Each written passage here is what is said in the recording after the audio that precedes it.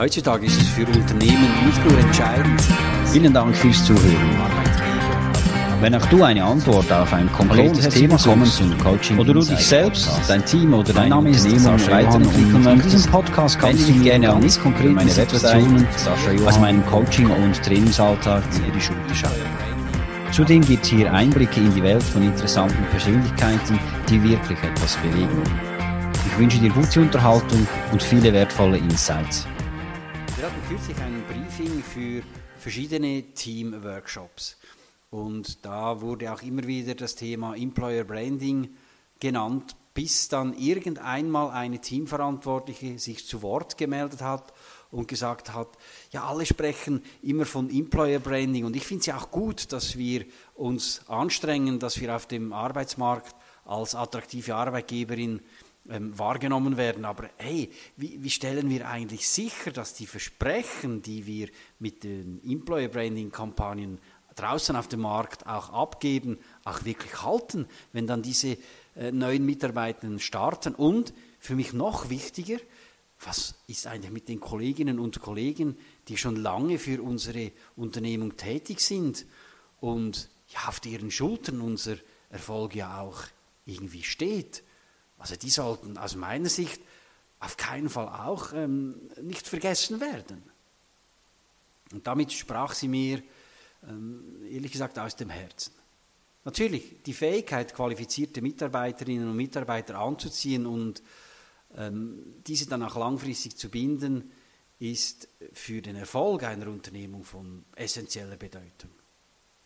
Aber eben genauso wichtig ist es auch, die bestehenden Mitarbeiter im Unternehmen zu halten. Gerade der Fachkräftemangel führt dazu, dass ja, gestandene Mitarbeitende eben auch plötzlich eine attraktive Zielgruppe darstellen, die auch äh, heute nicht mehr vermutlich unbedingt abgeneigt ist, so ähm, in den letzten Jahren der beruflichen Tätigkeit noch einmal eine neue attraktive Herausforderung anzunehmen. Aber fangen wir mal beim Employer Branding an. Dieses bezieht sich auf die Art und Weise, wie ein Unternehmen als Arbeitgeber wahrgenommen wird und eben wie es sich als attraktive Arbeitgeberin auf dem Markt positioniert. Das umfasst alle Maßnahmen und Strategien, die darauf abzielen, die Arbeitgebermarke eines Unternehmens aufzubauen, diese zu fördern und zu stärken, um qualifizierte Mitarbeiterinnen und Mitarbeiter anzuziehen. Der ideale Mix äh, für all diese Maßnahmen im Employer Branding, der ist natürlich je nach Unternehmen, Zielgruppe und Branchen unterschiedlich. Und es gibt einige wichtige Kanäle und Maßnahmen, die in einem solchen Mix auch enthalten sein sollten. Aber zuerst geht es ja auch darum, ein widerspruchsfreies Employer Branding CICD zu entwickeln und dieses entsteht auf der Basis der Employee Value Proposition, also der EVP. Und eine EVP ist die klare Aussage darüber, was das Unternehmen seinen Mitarbeitenden bieten, bietet und warum eben potenzielle Bewerberinnen und Bewerber Teil der Unternehmung werden sollten. Und eben aufbauend auf dem Ganzen folgt dann die ganze Klaviatur an verschiedenen Maßnahmen. Da gibt es Employer Branding Webseite, gut gestaltet, informativ, anziehend, ansprechend wo wir halt alle Informationen teilen, Vorteile, Karrieremöglichkeiten und natürlich auch die Unternehmenskultur. Und genauso wichtig und darauf aufbauend sind die ganzen Social-Media-Kanäle. Ja, da sollten sich Unternehmen auch wirklich Gedanken machen, wo bewegt sich denn unsere Zielgruppe, welche Kanäle passen für unser Employer Branding, Botschaften. Da sprechen wir von Plattformen wie LinkedIn, TikTok, Instagram, Snapchat, Facebook, für eher ältere Zielgruppen, äh, um nur einige zu nennen. Und natürlich das allgemeine Content Marketing, also Blogartikel, Videos, Podcasts oder sogar E-Mail-Marketing, ja, die ermöglichen es Unternehmen, ihre Expertise zu demonstrieren, ihre Kultur zu demonstrieren und potenzielle Bewerberinnen und Bewerber nicht nur zu informieren, sondern ja, im besten Fall auch zu begeistern. Die Präsenz auf Online-Jobbörsen und Karriere, Karriereportalen, die runden dann die ganzen Online-Aktivitäten in dem Sinne ab. Und was wir auch immer mehr antreffen, ist die Maßnahmen mittels Virtual Reality, also Virtual Reality Technologien, die den Mitarbeitenden ermöglichen oder den potenziellen Mitarbeitenden es ermöglichen, halt mal so einen Augenschein zu nehmen, wie denn äh, die Unternehmung oder ihr neuer Arbeitsplatz denn von innen ausschaut, ohne dass sie wirklich die Unternehmung als solches besuchen müssen. Ein weiterer sehr effizienter Punkt sind natürlich die Mitarbeiter-Testimonials, ja, zufriedene ähm, Mitarbeitende, ihre authentischen Stimmen und Geschichten, die bieten einen echten Einblick und sind auch wirklich absolut glaubwürdig. Schon lange gibt es Mitarbeiterempfehlungsprogramme, also wenn das Mitarbeitende auch incentiviert werden, wenn sie neue Mitarbeitende dazu bewegen können, bei der Unternehmung zu starten.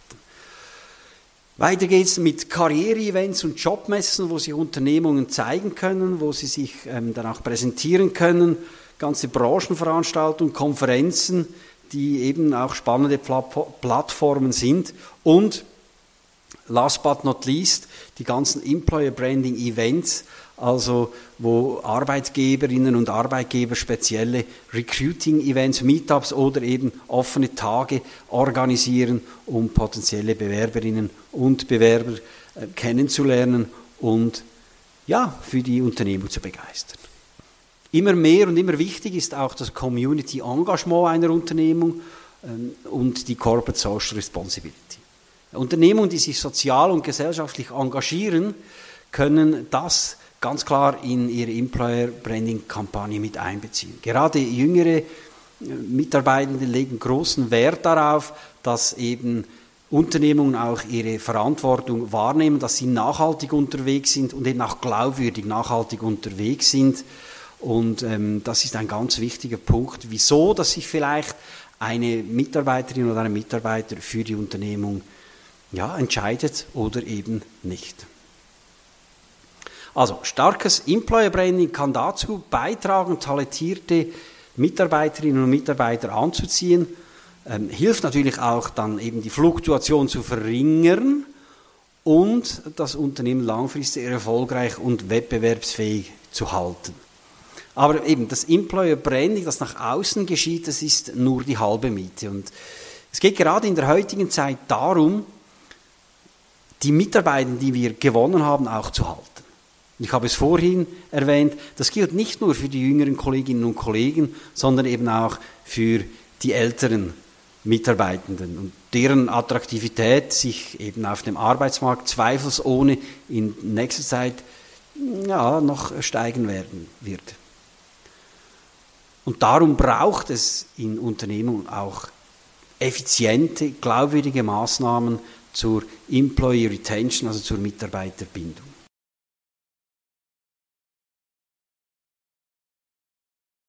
Die Employee Retention bezieht sich auf die Fähigkeit eines Unternehmens, Mitarbeiterinnen und Mitarbeiter langfristig an die Unternehmung zu binden und eben diese von einem Wechsel zu einem anderen Arbeitgeber abzuhalten. Das umfasst sämtliche Maßnahmen und Strategien, die eben darauf abzielen, die Abwanderung von Mitarbeitenden zu verringern und die Mitarbeiterloyalität, die Zufriedenheit und die Bindung zu erhöhen. Die Employee Retention besteht aus verschiedenen Aspekten und so als Übertitel würde ich jetzt mal nennen Arbeitskultur, Entwicklungs- und Karrieremöglichkeiten, den Führungsstil und das Management, ein wettbewerbsfähiges Gehalt mit Zusatzleistungen und eben auch die Pflege der Unternehmenswahrnehmung und der Reputation. Aber fangen wir mal vorne an bei der Arbeitskultur und dem Arbeitsumfeld. Also eine positive Atmos Arbeitsatmosphäre, eine wertschätzende ähm, Kultur untereinander und auch ein respektvoller Umgang, das sind Faktoren, die die Mitarbeiterbindung beeinflussen. Also ein gutes Betriebsklima und eine unterstützende Arbeits- und Unternehmenskultur, die wirken sich positiv auf das Engagement, die Loyalität, ähm, natürlich auch die Motivation und schlussendlich auch die Zufriedenheit der Mitarbeitenden aus. Ja, dazu gehört auch, dass in der Unternehmung und auch auf Stufe Team die psychologische Sicherheit vorhanden ist. Also das Vertrauen, Respekt und Wertschätzung in kollektiv bestehen, dass Mitarbeitende wissen, dass sie auch Risiken eingehen können, auch zwischenmenschliche Risiken mal eingehen können, dass sie sich aktiv einbringen, dass sie gehört werden, dass sie mit Respekt behandelt werden, dass ihre Ideen wertgeschätzt werden und halt eben auch frei sprechen können.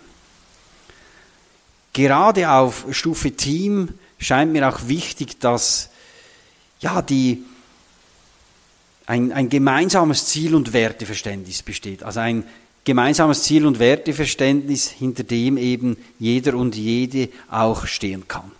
Ja, und die Basis einer wirklich gut funktionierenden Zusammenarbeit im Team ist natürlich auch, dass irgendwo so die kollektive Sinnhaftigkeit, die bindet sich ja dann auch an dieses Ziel- und Werteverständnis, dass die eben halt besteht, dass man weiß, okay, was sind die, die Werte unseres Teams, was wollen wir für einen Nutzen für uns und vielleicht auch für andere erzielen und wie stellen wir eben nachhaltig sicher, dass wir gemeinsam auch auf Kurs bleiben. Und dieses Thema Sinnhaftigkeit, das nimmt ja immer eine wichtigere Rolle ein.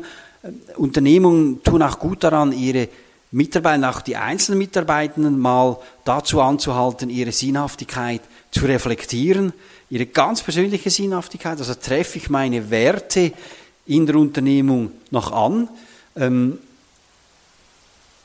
kann ich den Nutzen, den ich erzielen will, für mich und für andere wirklich noch erzielen und eben bin ich auch in dem, was ich leiste, wie ich es leiste, passt das noch, bin ich da auf Kurs.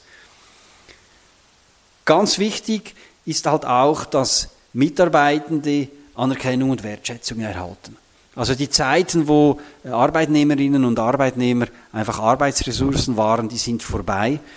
Man erwartet heute auch ja, dass man anerkannt wird für das, was man leistet, dass man wertgeschätzt wird als solches und das kann öffentliche Anerkennung sein, aber auch wirklich mal Wertschätzung, Anerkennung, die nicht institutionalisiert ist, eben auch im zwischenmenschlich mal von der Führungskraft zur Mitarbeiterin zu Mitarbeiter oder eben auch untereinander. Und dazu gehört eben auch eine offene Kommunikation und eine offene Feedback-Kultur ja, Mitarbeitende, ähm, die müssen wissen, dass ihre Meinung gefragt ist, dass sie auch Fragen und Anliegen frei äußern können und dass eben regelmäßiges Feedback eben allen dazu dient, dass man gemeinsam auf Kurs ist oder halt eben gemeinsam mit den Kolleginnen und Kollegen zur Entwicklung und auch eben auch vielleicht zur Verbesserung beitragen kann. Ein ganz wichtiges Thema, ich nehme das jetzt mal in die Arbeitskultur mit rein, sind ähm, flexible Arbeitszeitmodelle. Also gleichzeitig kennen wir seit Jahren. Ähm, wir sprechen aber auch eben von ähm, Remote Working, wir sprechen von Homeoffice, äh, Jahresarbeitszeiten und so weiter. Ähm, das gibt dann halt auch den Mitarbeitenden wirklich die Möglichkeit, eine noch bessere Balance zu erzielen. Und genauso wichtig wie die Arbeitszeitmodelle sind, sind für mich auch ja, die, die Infrastruktur und die Einrichtung des Arbeitsplatzes. Also dieser sollte den Bedürfnissen entsprechen, und zwar nicht nur den Bedürfnissen, damit der Job gut gemacht werden kann, sondern halt auch ähm, ja, den gesundheitlichen Bedürfnissen der Arbeitnehmerinnen und Arbeitnehmer. Und je angenehmer die Atmosphäre auch gestaltet ist, umso wohler fühlen sich die Mitarbeitenden äh, an ihrem Arbeitsplatz. Und da spielt eben auch die Mitarbeiterpartizipation eine ganz wichtige Rolle. Also Mitarbeitende, die schätzen es heute, wenn sie in Entscheidungsprozesse mit eingebunden werden, ähm, dass sie auch ihre Meinungen, ihre Idee ähm, aktiv abgeben können. Das, das äh, kann, kann durch Befragungen sein, das kann ein Ideenmanagementsystem sein, äh, was auch immer. Äh, ganz wichtig. Also heute hat man ja auch den Trend dazu, dass sich dass sich Teams selbst organisieren, selbst mit einbringen, das finde ich gut, aber nichts vergessen, ganz wichtig, auch bei aller Selbstorganisation, Führungskräfte sollten und müssen trotzdem auch immer mit klaren Vorgaben, gemeinsam getragenen Vorgaben, halt auch die Orientierung und die Leitplanken bieten. Ja, was wir schon lange kennen, sind eben Team- und Teambuilding-Aktivitäten. Da gibt es ganz verschiedene Themen. Das kann auch mal äh, ein Sozialevent sein. Also Sozialevent, da meine ich äh, Themen, die in der Freizeit stattfinden. Einfach, wo man sich mal in einem anderen Umfeld trifft. Aber es können auch ganz konkrete Teambuilding-Workshops sein kann ein regelmäßiger Team-Check-up auch sein, also wo die Frage im Zentrum stehen kann, soll und darf oder vielleicht auch muss, eben wie wir gemeinsam noch besser zusammenarbeiten können oder wie wir die Verbindung untereinander noch mehr stärken können. Aber natürlich haben auch hier konkrete Fragen oder Herausforderungen Platz, die gelöst werden sollen. Also wenn es zum Beispiel um eine Fehler- oder Feedback-Kultur geht, wenn die Kommunikation noch Luft nach oben hat, äh, oder wenn es um ganz alltägliche Themen wie Sales, Prozesse, Arbeitsqualität und so weiter geht. Ja, der äh, weitere wichtige Punkt ist, sind die Entwicklungs- und Karrieremöglichkeiten. Also die Mitarbeitenden von heute, das war aber auch schon immer so, die sind natürlich interessiert zu wissen, wie kann ich mich in der Unternehmung weiterentwickeln, was für Möglichkeiten habe ich und eben wir sollten die Möglichkeiten nicht nur aufzeigen, die Aufstiegsmöglichkeiten und die Karrierepfade, sondern das sollte auch dann wirklich gelebt werden. Also es sollten klare ähm, Prozesse auch, klare ähm, klares Arbeitsumfeld dann auch wirklich geschaffen werden, dass diese Entwicklung auch stattfinden kann. Und das muss nicht nur immer der ähm, äh, vertikale Aufstieg sein, sondern ja, oftmals sind Mitarbeiter auch darin interessiert, sich vielleicht eben horizontal weiterzuentwickeln, Spezialisierungen ähm, zu, zu erlernen und so weiter und so fort. Ja, wenn es um die Entwicklung und Karrieremöglichkeiten geht, dann sind Mentoring-Programme immer ein äh, gutes Mittel in dem Sinne, also wo erfahrene Mitarbeitende, jüngere oder weniger erfahrene, erfahrene Mitarbeitende unterstützen und äh, auch ihre, in ihrer Entwicklung fördern können, aber eben auch umgekehrt, wo eben zum Beispiel ältere Mitarbeitende von Jungen lernen, ähm, ja, mit, mit neuen Medien umzugehen, mit der Digitalisierung umzugehen, mit neuen Arbeitsinstrumenten umzugehen. Hier kann eben gegenseitig ein wertvoller Wissensaustausch immer wieder stattfinden. Ja, natürlich macht das auch Sinn und ist es wichtig, dass Schulungs- und Entwicklungsprogramme angeboten werden, halt um vielleicht gewisse Lücken zu schließen. Das können interne Academies sein, aber natürlich auch externe Schulungsprogramme, Workshops oder auch die Teilnahme an Fachkonferenzen und so weiter. Job Rotation, Projektarbeit, ein weiteres spannendes Instrument, eben vielleicht wenn es auch um die, ähm, die, die horizontale äh, Entwicklung geht, also dass man auch irgendwo mal in andere Aufgaben oder Teams oder äh, Arbeitsbereiche Einblick nehmen kann, dass man zum Beispiel im Rahmen von einer Projektarbeit auch von anderen Bereichen dazulernen kann, ähm, verschiedene neue Abteilungen kennenlernen kann. Äh, das wird natürlich mit einer Job Rotation oder mit einer gezielten Projektarbeit dann auch wirklich ähm, perfekt gelöst. Wichtig neben der fachlichen Entwicklung scheint mir auch, dass die, die Mitarbeitenden auch die Möglichkeit haben, sich persönlich weiterzuentwickeln. Diese sogenannten Soft Skills, also da kann es eben, ich habe es vorhin schon gesagt, auch mal Themen wie Sinnhaftigkeit im Beruf äh, oder auch mal die ganz persönliche berufliche Standortbestimmung durchzuführen, aber eben auch ganz konkrete Themen wie Kommunikationstrainings, Konfliktlösungsworkshops, Zeitmanagementseminare, wo halt eben die Mitarbeitenden die Möglichkeit erhalten, sich ganz persönlich weiterzuentwickeln, um vielleicht auch hier ja, eine, eine äh, neue, bessere Balance auch herstellen zu können.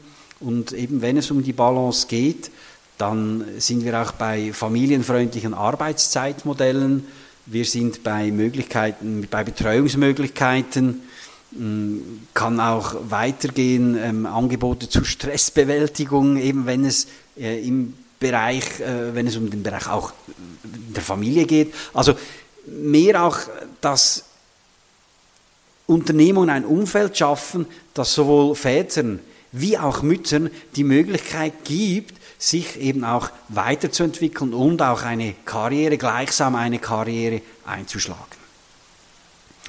Gehen wir einen Schritt weiter zum Führungsstil und zum Management. Das hat natürlich einen erheblichen Einfluss auf die Mitarbeiterbindung. Also eine gute Führungskraft, die schafft Vertrauen, die kommuniziert klar, ähm, die schafft allgemein ein positives Arbeitsumfeld. Also das fängt ja schon bei der transparenten Kommunikation an.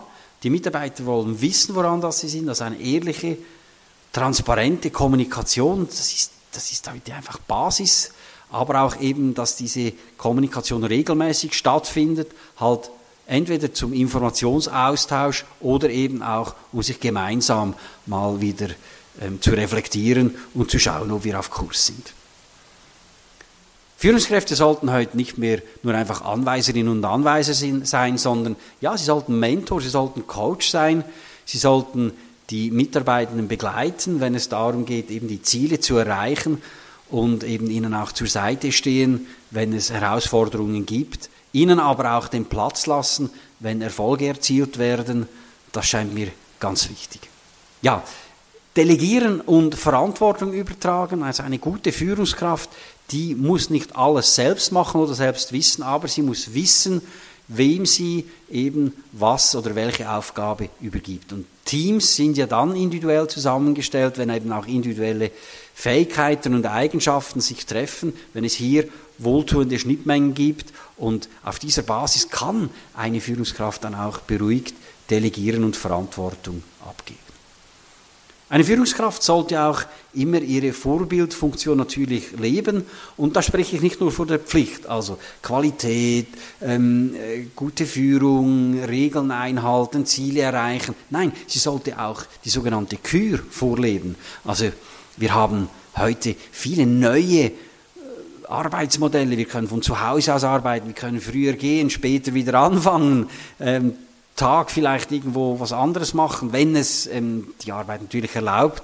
Und Führungskräfte sollten das vorleben. Also die Führungskraft, die am Morgen um sieben kommt und als erster oder erste da sein will und das Gefühl hat, er oder sie geht am Abend auch am Schluss, die nie frei nimmt, die nie mal von zu Hause arbeitet, ja, du kannst du nicht erwarten, dass deine Mitarbeiter das auch tun. Also Pflicht und eben Kür vorleben.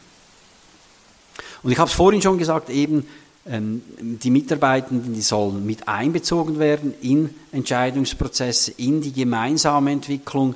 Das scheint mir essentiell, dass eben gemeinsam etwas erreicht wird und auch für eine Führungskraft ist es doch eine perfekte ähm, Erfahrung. Die Effizienz wird gesteigert, mehr Köpfe denken und sprechen bei der Zielerreichung mit, aber eben ganz wichtig, die Rahmenbedingungen, die soll die Führungskraft, ähm, die soll die Führungskraft definieren und sie soll damit auch Orientierung geben, eben inwieweit das eben der Einbezug der Mitarbeitenden auch stattfindet. So, jetzt haben wir von vielen Faktoren gesprochen, Führung, Unternehmenskultur, Entwicklungsmöglichkeiten. Es ist nicht von der Hand zu weisen, am Ende des Monats haben wir Rechnungen, die wir bezahlen müssen wir haben finanzielle Verpflichtungen und so weiter. Ja, und wir wollen uns vielleicht auch mal was Schönes gönnen und da sind wir beim Gehalt. Also eine Unternehmung, die sollte halt wirklich ein ja, marktübliches Gehalt anbieten. Da kann man sich ja auch miteinander irgendwo absprechen in der Branche oder auf dem Arbeitsmarkt. Das sollte halt irgendwo fair sein, das sollte passen. Die Menschen sprechen heute mehr als früher über, über Geld ähm, auch vielleicht was sie verdienen und so weiter. Die Lohntransparenz ist in aller Munde und da ist man natürlich absolut vergleichbar. Wichtig erscheint mir, dass wir äh, das äh, halt auch nicht um jeden Preis leben. Also wir müssen als Unternehmen auch mal den Mut haben, auf ein Engagement zu verzichten, wenn eben der Preis irgendwo nicht stimmt, wenn die Forderung zu hoch ist, eben halt auch mit dem Risiko, dass dann halt bestehende Mitarbeitende sich ja nicht wertgeschätzt fühlen, fragen, der oder die kriegt zu viel, ich arbeite seit Jahren da und kriege viel weniger. Also eben nicht um jeden Preis. Die Balance, diese Hygiene untereinander, die sollte unbedingt vor allem, wenn es um das Gehalt geht, gewahrt werden. Und Ganz wichtig auch, ich sage immer, wer Forderungen an den Tisch bringt, auch finanzieller Natur, der sollte oder die sollte auch sagen, was er oder sie für einen Mehrwert mitbringt. Und da darf man als Unternehmung auch mal fragen, okay, du ähm, ähm, erwartest von mir dieses Gehalt, ist eine Investition für mich, unternehmerisch gesehen. Was denkst du, wird äh, für diese Investition dann auch drin liegen. Also was kriege ich dann für diese Investition? Und nicht nur einfach dein Know-how und dein Engagement, sondern ja, vielleicht mal konkret mit verbindlichen Zahlen arbeiten, Zielvereinbarungen arbeiten, damit eben auch Bewerberinnen und Bewerber merken, dass sie auch in die Pflicht genommen werden.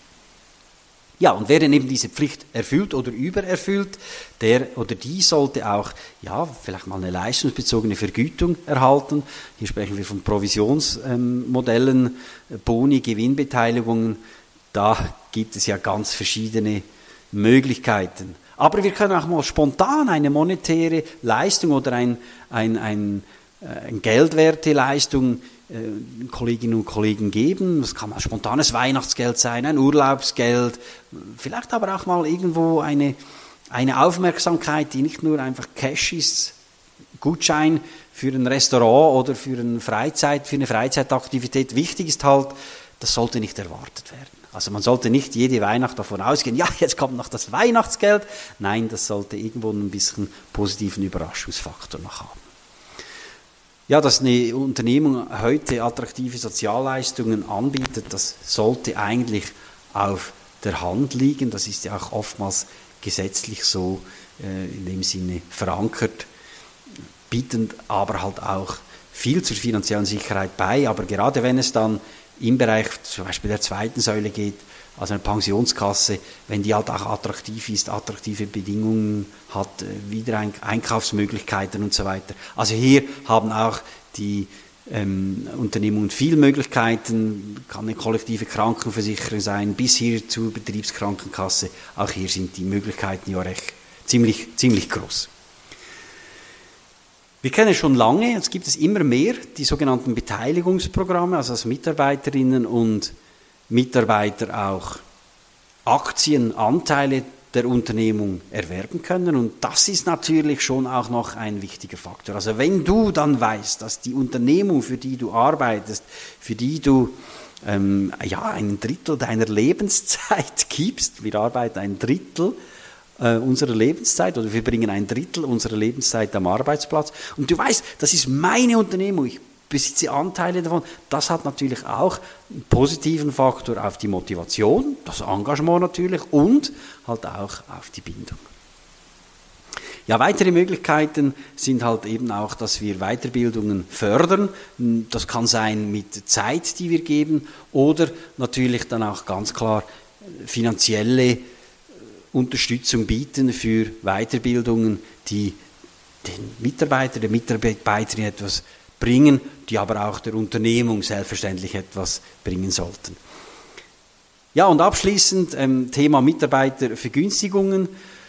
Da gibt es ganz verschiedene Möglichkeiten, äh, wo halt äh, Unternehmungen draußen im Markt bei verschiedenen anderen ähm, Anbietern Rabatte, Vergünstigungen und so weiter ähm, ermöglichen können. Also in dem Sinn, dass äh, ja, da kannst du vielleicht günstiger ins ins Fitness, kriegst ein günstigeres Abo oder was auch immer für, die, äh, für den öffentlichen Verkehr. Das ist auch immer was, was äh, wirklich von Mitarbeitenden geschätzt wird. Last but not least die Pflege der Unternehmenswahrnehmung und der Reputation. Ja, die Reputation eines Unternehmens, ich habe es vorhin beim Employer Branding schon gesagt, ähm, die spielt eine ganz wichtige Rolle bei der Mitarbeiterbindung.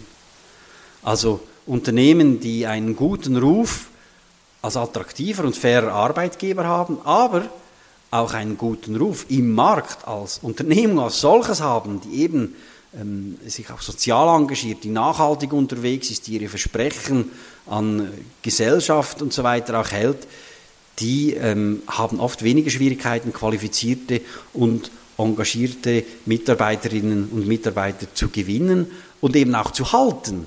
Hm? Weil du bist ja dann stolz, eben für eine Unternehmung tätig zu sein, die eben auch draußen auf dem Markt ein gutes Image hat. Und hier schließt sich ja dann auch wieder eben der Kreis zum Employer Branding und wir sehen, die Employer Retention, die ist ein ganz wichtiger Teil des Employer Brandings oder eigentlich die Fortsetzung des Employer Brandings, weil eben mit der Employer Retention da halten wir eben die Versprechen, die wir in den Employer Branding Kampagnen abgeben.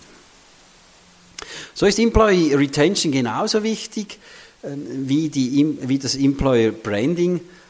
Und ähm, ja, wenn es uns eben so gelingt, Mitarbeitende zu begeistern, Mitarbeitende ähm, in der Unternehmung zu halten, zu fördern, ihre Loyalität zu gewinnen und sie zu binden, ja, dann haben wir verschiedene weitere große Vorteile.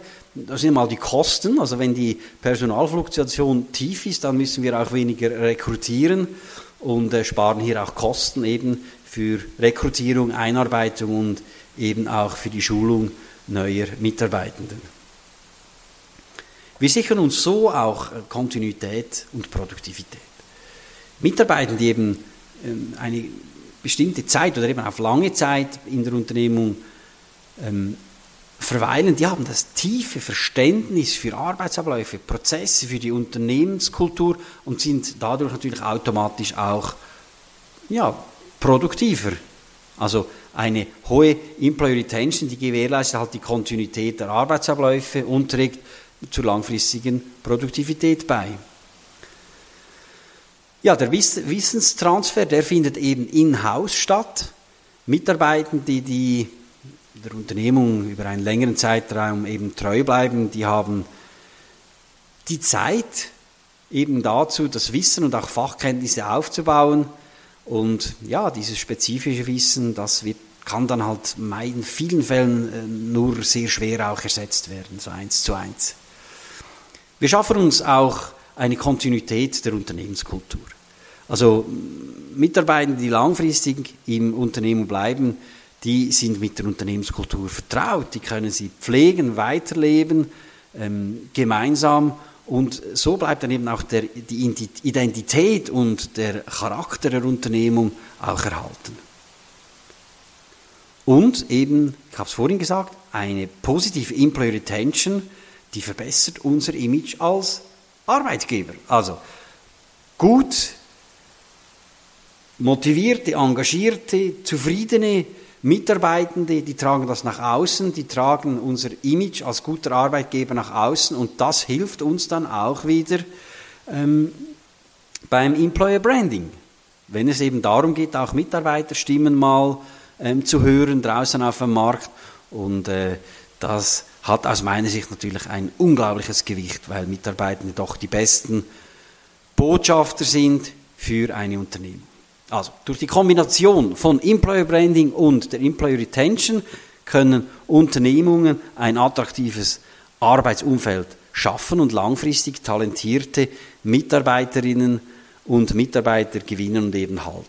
Aber ganz wichtig ist halt eben, dass wir kontinuierlich ähm, bewerten und reflektieren, ob eben unsere Maßnahmen, unsere Strategien auch passen, ob wir unsere Versprechungen, äh, die wir draußen machen, auch wirklich halten, ob wir noch zeitgemäß unterwegs sind mit der Unternehmenskultur, mit Arbeitszeitmodellen und, und, und, und, und. Und wir sollten halt auch wirklich die Bereitschaft haben, als Unternehmung Sachen zu ändern oder neu aufzugleisen, wenn es nötig ist. Ja, und äh, wie können wir sicherstellen, dass wir auch wissen, äh, ob wir auf Kurs sind. Ja, kontinuierliches Feedback einholen, Befragungen, Mitarbeitende befragen, eben auch regelmäßige Team-Check-ups durchführen. Sind wir gemeinsam auf Kurs? Das ist das Wichtigste. Also Befragungen dürfen auch mal anonym erfolgen, ähm, um herauszufinden, was denn, wo denn vielleicht auch wirklich der Schuh drückt, wo man nicht darüber sprechen würde. Aber eben Mitarbeiterfeedback, Team-Check-ups, das ist ein ganz wichtiger Punkt in dem Sinne. Eben halt auch, dass die Mitarbeitenden regelmäßig informiert werden über Veränderungen oder Anpassungen von Strategien und Maßnahmen. Ja, vielleicht können wir auch unsere eigene Fluktuationsrate mal äh, in der Branche vergleichen. Wo stehen wir hier? Haben wir hier ähm, gute Zahlen oder äh, sind die Zahlen eher ähm, schlechter als die unserer Marktbegleiter? Da können wir auch natürlich dann Vergleiche und Rückschlüsse auf unsere eigene Employee Retention dann natürlich ziehen.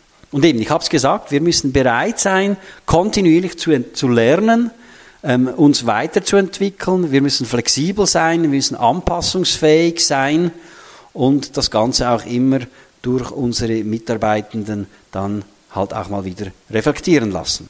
Abschließend ist es wichtig, dass Unternehmen verstehen, dass der Erfolg einer starken Employer Branding Strategie und einer effektiven Employee Retention nicht über Nacht kommt. Es erfordert Zeit, Geduld und Engagement von allen Beteiligten. Unternehmen, die jedoch bereit sind, diese Herausforderung anzunehmen, die werden auch in Zukunft Großes bewegen.